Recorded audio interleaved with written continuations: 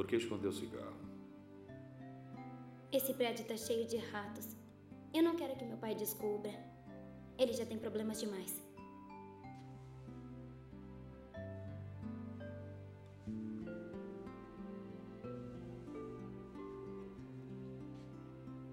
O que aconteceu? Caí da bicicleta.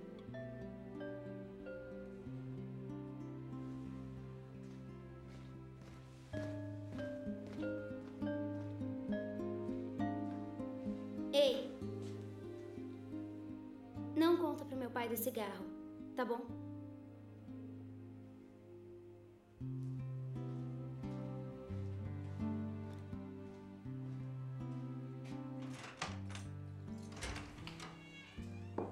Não entendo por que tá fazendo isso com a gente. Eu não sei.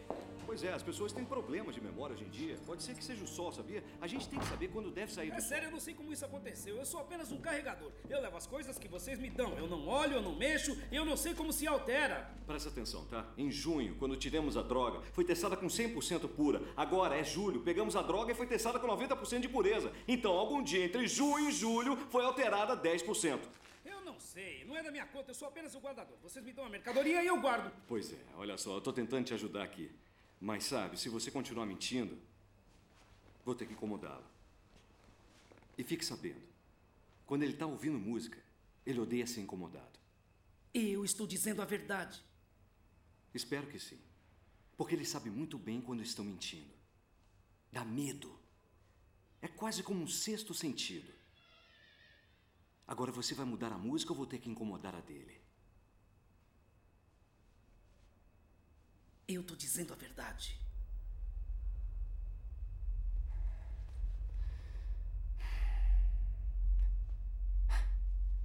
Tá bom. Esther, Esther. É, olha, é, foi mal. É, ele disse que não menciona droga. Ah.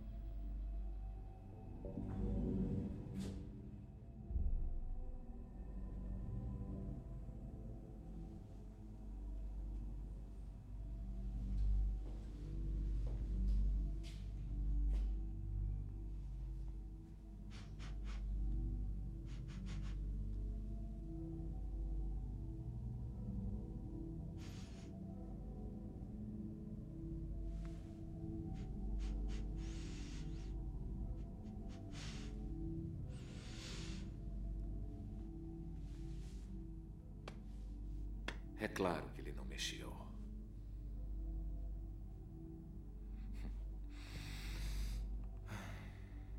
Hum.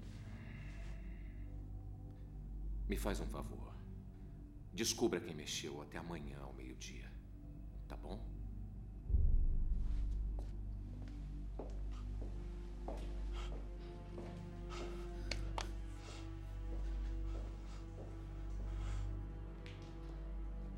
Ok, olha. Escuta, eu não mexi na sua droga. Descubra sozinho!